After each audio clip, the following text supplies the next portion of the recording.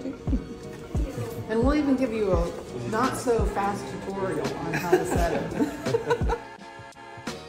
This actually, it's called the Sky Dweller because it was really um, created by Rolex, intended to cater to the guys that are always traveling. Yeah. Always in different time zones, so you can always have a reference of what your home time is, as well as wherever your dual time where you might be, without having to reset. I know, that was really nice. It's really nice. It's a